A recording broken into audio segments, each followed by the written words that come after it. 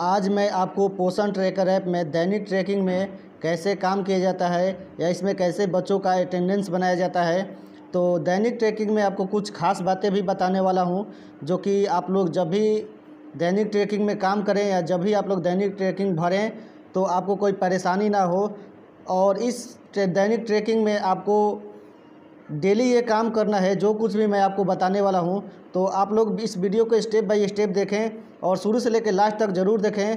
तो नमस्कार दोस्तों, मैं रितेश कुमार, आप देख रहे हैं मेरा YouTube channel D K technical गया तो आंगनबाड़ी से रिलेटेड ऐसे ही YouTube updated useful video time पर पाने के लिए मेरे इस चैनल को सब्सक्राइब ज़रूर करें। तो दैनिक ट्रैकिंग में काम करने के लिए सबसे पहले हम लोग अपना पोषण ट्रैकर ऐप को ओपन करेंगे।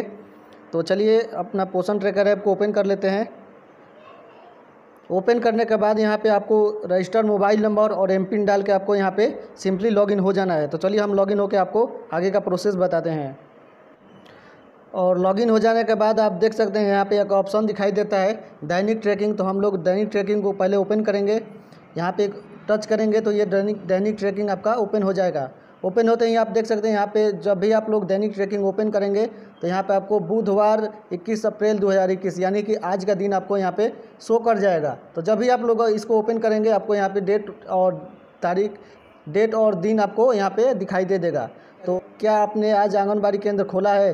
तो अगर आपने आज आंगनबाड़ी केंद्र खोला है तो आप लोग यहाँ पर सिंपली यहाँ पे क्लिक कर देंगे और यहाँ पे क्लिक करके और सबमिट करें और जारी रखे पे क्लिक कर देंगे। उसके बाद यहाँ पे आपको दूसरा स्टेप आ जाएगा, उपस्थिति और हाजिरी। तो आप लोगों ने जितने भी बच्चे का रजिस्ट्रेशन किया है, आपका यहाँ पे शो कर जाएगा। जो पढ़ने वाले बच्चे हैं तो जैसे मैंने यहाँ पे दो बच्चे का रजिस्ट्रेशन किया है तो देख सकते हैं यहाँ पे मैंने दो बच्चों का रजिस्ट्रेशन किया है तो इनका हाजिरी बनाना है। तो जो लोग बच्चे आपके आंगनबाड़ी केंद्र में आए हैं तो उनका यहाँ पे टिक लगा देंगे, जो जैसे कि दो बच्चों का यहाँ पे रजिस्ट्रेशन किया है मैंने तो अगर आपके, आप आप लोगों ने जितने बच्चे का रजिस्ट्रेशन किया है तो आप लोग यहाँ पे उसको यहाँ पे टिक लगा के और सबमिट करें और जारी रखे पे क्लिक कर देंगे। क्लिक करने के बाद यहाँ पे देख सकते हैं कि तीसरा स्टेप आपको खुल के आ जाएगा आ जाएगा। उसके बाद यहाँ पे किन बच्चों का आज लंच परोसा गया एचसीएम में तो यहाँ पे जो जो जो बच्चे आपके आंगनबाड़ी केंद्र में आए हैं, उनको यहाँ पे लंच परोसा गया है तो आप लोग इस पर सेलेक्ट कर लेंगे। सेलेक्ट करने के बाद यहाँ पे सबमिट करें और जारी रखे पे क्लिक कर देंगे तो आप लोग का तीसरा स्टेप भी कंप्लीट हो जाएगा। और आता है इसके बाद टी एच आर किन बच्चों को टी एच आर दिया गया टेक होम राशन ये टी एच आर है, जब भी आप लोग टी एच आर करेंगे, जिस दिन करेंगे, महीने में एक बार टी एच आर होता है तो आप लोग उसी दिन इसको यहाँ पे अटेंडेंस बनाना है कि जो जिन बच्चों का यहाँ पे टी एच आर दिया गया है, उन्हीं बच्चों को यहाँ पे टिक मार लगाना है।